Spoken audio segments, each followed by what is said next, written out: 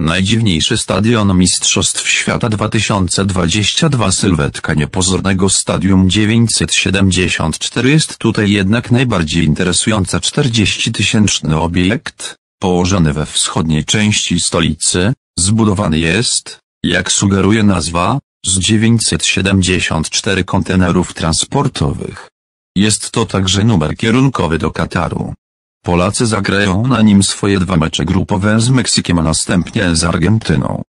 Najdziwniejszy stadion Mistrzostw Świata 2022 sylwetka niepozornego Stadium 974 jest tutaj jednak najbardziej interesująca 40-tysięczny obiekt, położony we wschodniej części stolicy, zbudowany jest, jak sugeruje nazwa, z 974 kontenerów transportowych.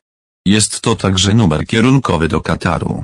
Polacy zagrają na nim swoje dwa mecze grupowe z Meksykiem a następnie z Argentyną.